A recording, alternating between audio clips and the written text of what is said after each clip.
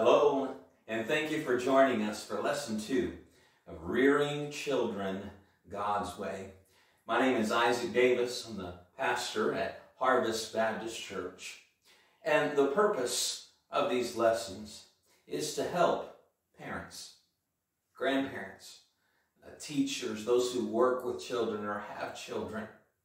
The, the task of training children God's way is it's very, very important and very, very difficult. Man has so many philosophies and, and, and thoughts in parenting today, and so much of that is contrary to God's Word. And it's important that we follow the manual that God has given.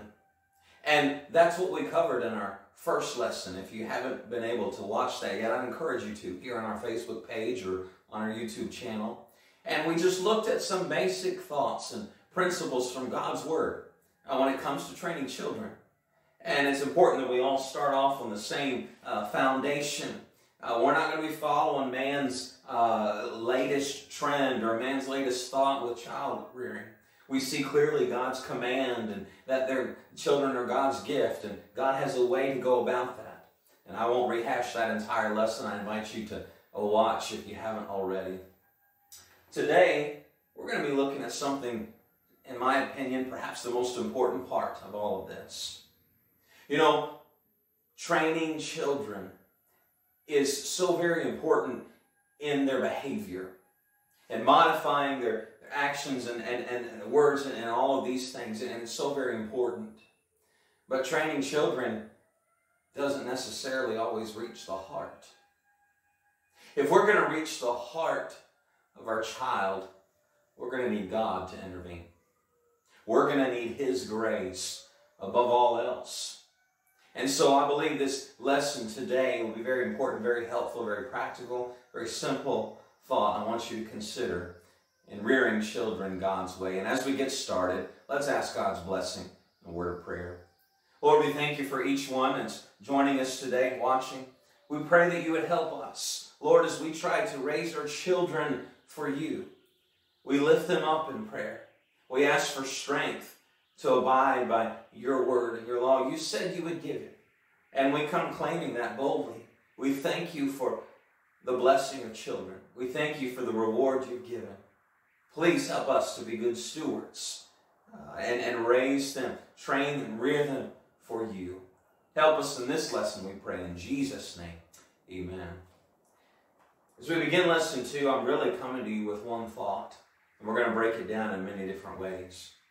As I've already mentioned, training children impacts their behavior, but won't always reach their heart. The single most important thing that you and I can do for our children as parents, guardians, uh, teachers is this pray. Pray for your children. The world in which we live today, scary, especially when it comes to spiritual matters. And yet, the Bible says that greater is he that is in you than he that is in the world. And so, for our lesson today, I'd like to give you 10 prayer requests for your children. We'll just spend a brief moment on each one.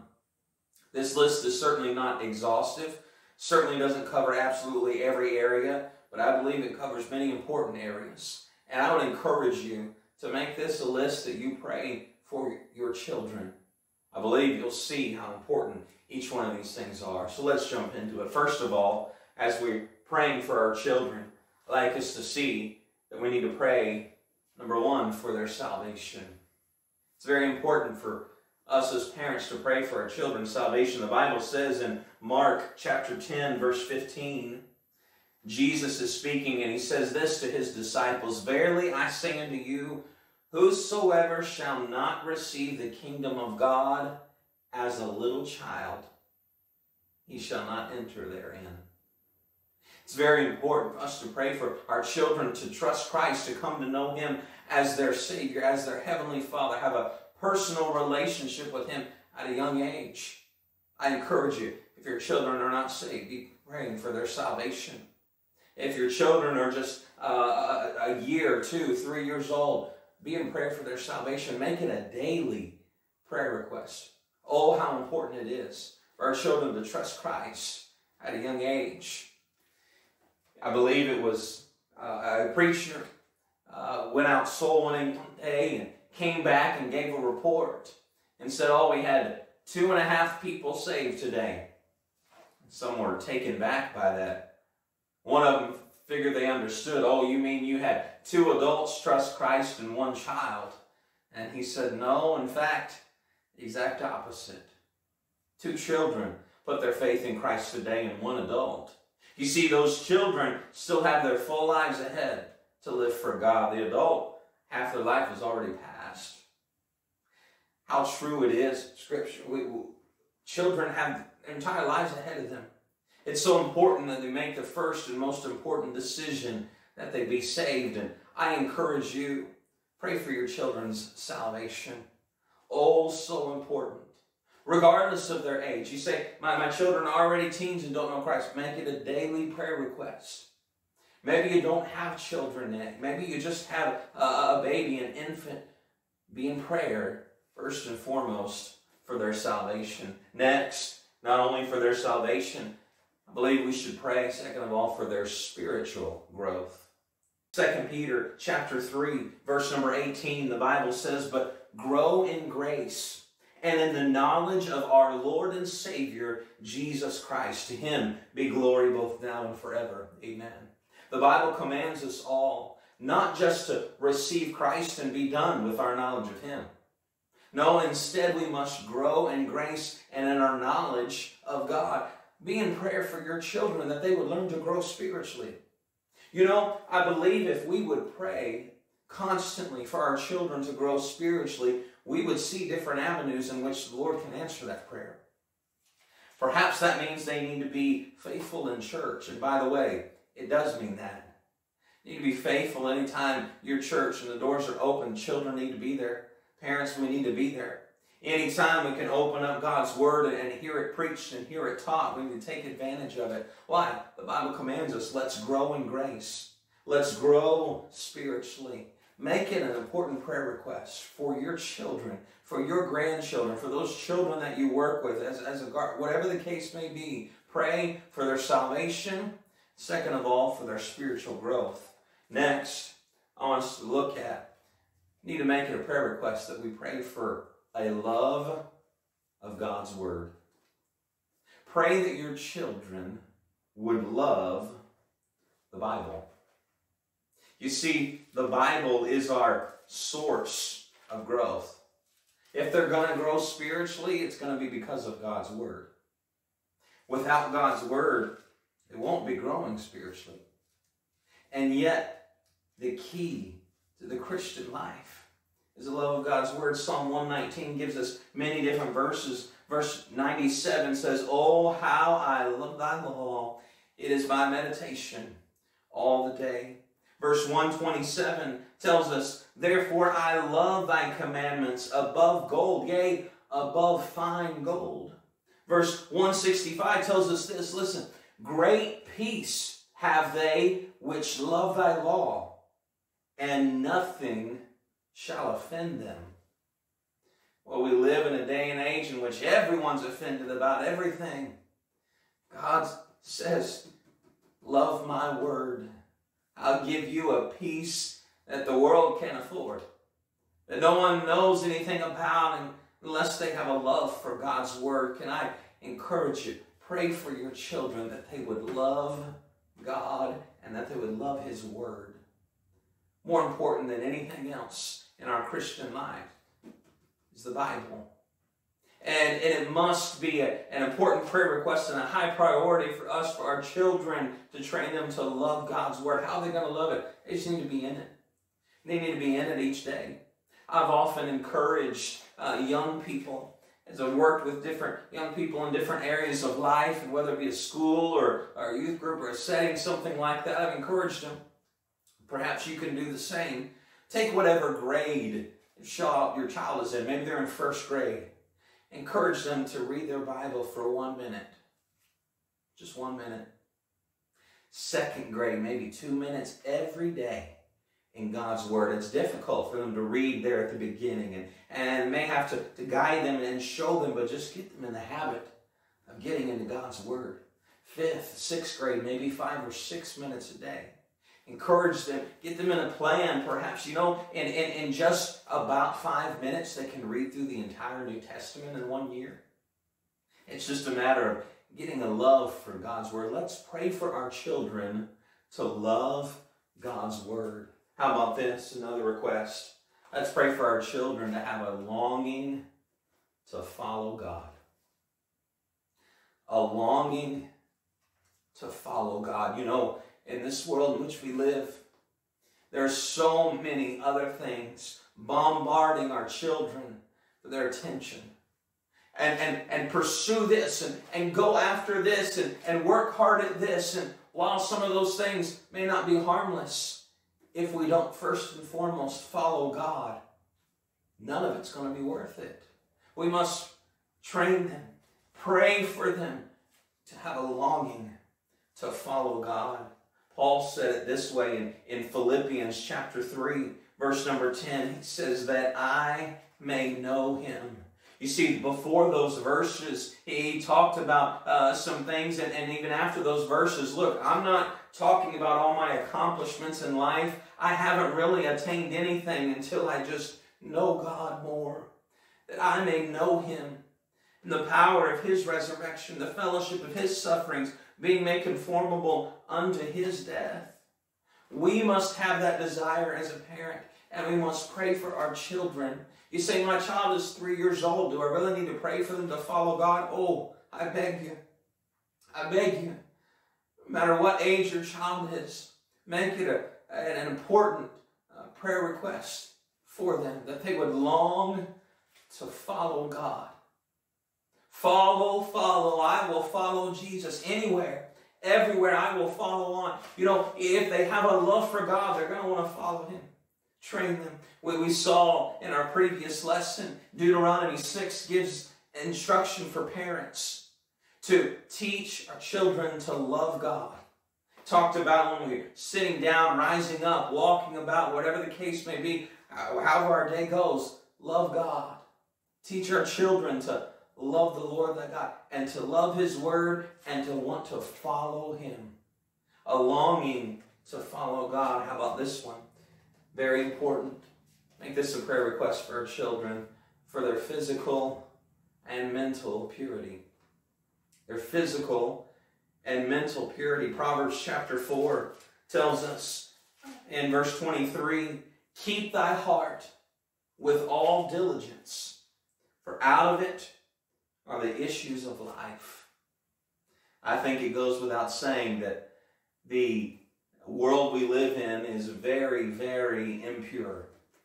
Righteousness, holiness is nowhere to be found. It must be so difficult. It's difficult for us as parents, but think about the children that uh, we're training and, and, and raising in these days, rearing to be like Christ, and yet they have so much around them that they can uh, partake in just with the single tap of a button. At their fingertips, it's readily available. It must be a priority for us as parents and grandparents to pray for their physical and mental purity. 1 Corinthians 6.18 says, Flee fornication. Psalm 51.10 says, Create in me a clean heart, O God. 1 Thessalonians 4, verse 3 says, For this is the will of God, even your sanctification. It must be of the utmost importance for us as parents to pray for our children for their purity. Physical and mental purity, not just what they do, but what they think. The Bible says our thoughts will lead to actions, our actions will lead to habits. May we pray now you say, My children are so innocent. And yet, it's so important each and every day. Make this a matter of priority. Pray for our children, for their physical and mental purity. How about this? Number six, pray for our children for courage. That they would have courage. David was talking to Solomon, his son, in 1 Chronicles chapter 28. and given him a task to do. It was a, a difficult task. And as he was going forward in it, David tells his son this in verse 20. He says, And David said to Solomon his son, Be strong and of a good courage, and do it. Fear not, nor be dismayed. The rest of the verse continues and says, For the Lord God, even my God, will be with thee. He will not fail thee, nor forsake thee. What a powerful thought and message. It's a difficult day for a, a child to live for God. As they get into elementary school and, and, and middle school and, and high school, it's not the popular thing to want to stand up for what's right. We need to pray for courage, that they would be unashamed of Christ. If they have in their hearts a love for God, a love for God's Word, a desire to follow God, we must pray that they then have courage to stand for what's right, to not back down when it comes to clear righteousness and holiness. But if they're going to do that, they're going to need courage. And it doesn't matter how much we train and do our best to help modify their behavior, we must pray for their courage. Ask God to intervene, to work on their behalf, and give them courage. How about this? Number seven, I would encourage you to pray for their mate. Pray now for their spouse. You say, Pastor, my child is six years old. That's the last thing I'm thinking of. Oh, I'm not saying set them up. I'm not saying line up a date for I'm not saying that. I'm saying ask God to prepare their mate. What goes on in an individual's life before marriage oftentimes has a big effect on the marriage. The Bible tells us in Genesis 2, verse number 24, Therefore shall a man leave his father and mother, and shall cleave unto his wife, and they shall be one flesh. Coming out of one upbringing and, and beginning a, a new home. And though we're leaving one behind, so much is affected during those initial years. And so I would encourage you, even now, I've done my best every day, even before my children were born. Ah, uh, sure, I've missed days here and there, I pray for their mate. I pray for God's protection on them. I pray a lot of these requests for the one that they'll give their lives to for in marriage, that they be pure, that they would follow God, that they would have a desire to live for God. I, I don't want my children to uh, grow and, and, and love God and, and marry someone and then get off track. Not because my children are better than, no, but because it's our desire, as we saw last week, for our children to fulfill their purpose that, that God has for them. God has a purpose for our child's life. And, and we don't want to go 18, 20, 24, 25 years, whatever the case may be, and, and hand them off and they leave, and, and then who knows what direction they go. It's so vitally important that we pray for their mate. I would encourage you make that a daily prayer request for your child. How about this? Number eight, pray for compassion and tenderness. Compassion and tenderness. Jude 1, verse 22, the Bible says, And if some have compassion, making a difference. 1 Peter 3 8 says, Finally, be ye all of one mind, having compassion one of another. Compassion, tenderness, for most people, doesn't come naturally. But it's also important that our children are compassionate to others, that are tender the situation. As I mentioned earlier, I have done my best to, to pray these things for my children, and I beg God to give them a, a tender heart towards Him. I want them to hear from God when, when they read. I, want them, as they sit in church and, and hear messages being preached and, and teachers teaching lessons, to I want them to have their hearts open towards what God has for them. I don't want them to be so set in their ways that they've got no desire to hear from God. And, and I don't want them to have their hearts so closed and, and, and, and cold to the things of God. No, I want it to be tender. I love it when they shed a tear. No, they're not perfect. No, they don't come and talk to me about every message, but there are times when we talk and add, let me t- tell me what God's doing in your heart. Break down and cry and share perhaps something that God spoke to them about in a lesson. And that encourages my heart as a parent.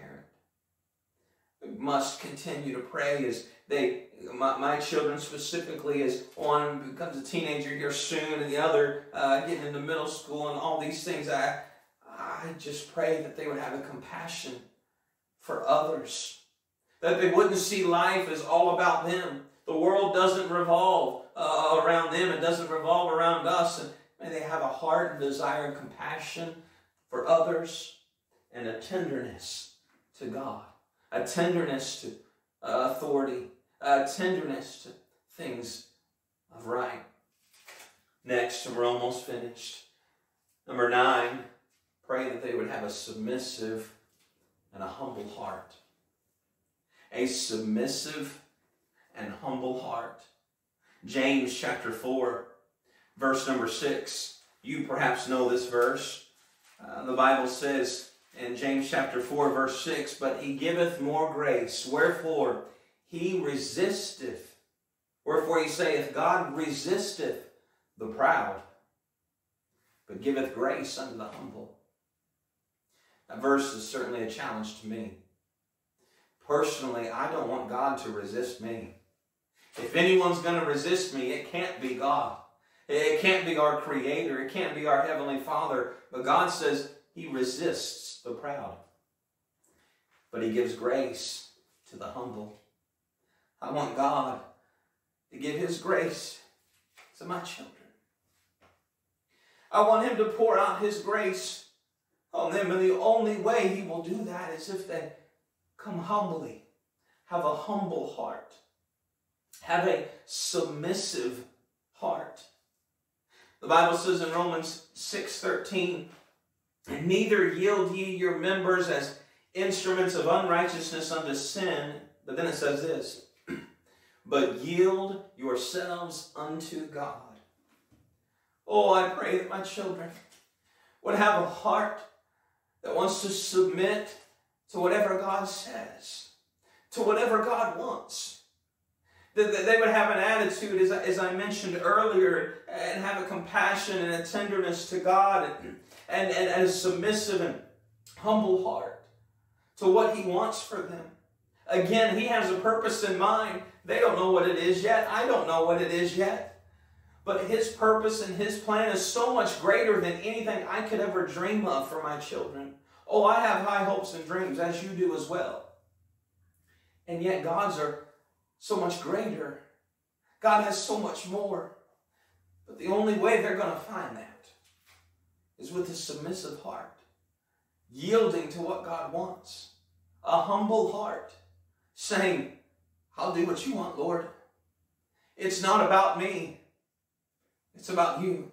And we pray for our children to have a submissive and a humble heart. And then finally, again, as I mentioned before, this isn't an exhaustive list, but just 10 requests that you can pray for your children. The 10th one is this for their protection from Satan. Pray for their protection from Satan. In this passage in Luke 22, we see Jesus talking to one of his closest disciples, Simon Peter. He says this in verse 31 of Luke 22 The Lord said, Simon, Simon, behold, Satan hath desired to have you. He may sift you as wheat. Did you catch that? One of the closest friends to Jesus, Satan had a desire for. And then Jesus said this in verse 32 But I've prayed for thee, that thy faith fail not. And when thou art converted, strengthen thy brethren. He tells Peter, Be careful, Satan wants you. In fact, I know he's got a desire for you. I'm praying for you, Peter. I'm praying that you'll be protected, that your faith won't fail. Oh, we must take this incredible example from Jesus Christ, our ultimate example, and remember this for our children. Just like Satan wants you and Satan wants me, Satan really wants our children. Again, they have their whole lives ahead of them by God's grace. And Satan wants to, to get at their heart, and Satan wants to, to, to cloud their mind, and, and Satan wants to harden uh, their hearts and their lives towards things of God. And we must pray for their protection from Satan. As much as you and I want God's best for them, Satan wants to destroy them. He would like nothing more than to see our children turn their backs against God. He would like nothing more than to see our children have no desire to tell others about their Heavenly Father. We must make it a matter of prayer. Perhaps your children don't want anything to do with God right now. I, I hope this isn't a discouragement to you. I hope it's an encouragement. We, we all need it. By, by God's grace, uh, any of us could be in any position at this moment. And, and, and God can certainly bring anyone back home. Oh, there's stories throughout Scripture. I think of Luke 15 and 16. I think of a child who wasted everything and then came back, and the Heavenly Father welcomed him with open arms. And God can do the same for you and your family. But perhaps you have very young children. Pray every day for their protection from Satan. You say, My child's four years old. Oh, how important it is gain the heart of our children, even at a very young age. We must pray for our children for their protection from Satan. So we've seen 10 things. We must pray for their salvation, their spiritual growth, a love of God's word, the longing to follow God, for their physical and mental purity, for courage. Pray for their mate. Pray for compassion and tenderness, a submissive and humble heart. Pray for their protection from Satan. If you're interested in these notes in a hard copy, be sure to mention that in the comments. I'll be happy to send you a, a hard copy of this. And I want to leave you with a closing thought. One closing thought to kind of sum up what we've talked about this evening, and that's this. There's nothing more precious than our children, and there's nothing more powerful than prayer. Prayer can do anything that God can do. And God can do anything. May we determine as parents, rearing children God's way, may we determine to pray like never before for our children. May we determine to pray these requests and, and perhaps certainly many others. It's so important that we ask God's blessing on our children. We can train. We can do our best to modify behavior. But God must have their heart. God must intervene. God's grace must be evident in our children's lives if they're going to live for Him. And so, as we continue, Lord willing, in the coming lessons and give you some very practical things that you can put into place each and every day to, to, to help as we rear children God's way, remember, no matter how much of that we do, it's all in vain if God doesn't intervene. And so I encourage you. Let's pray these requests for our children. Pray for one another. Again, it's not an easy task as we rear children, but where God gives us direction and instruction in Scripture, He gives us the strength to continue on. Thank you for joining us. Lesson two of Rearing Children God's Way. Hope you can join us again in the future. Have a good day.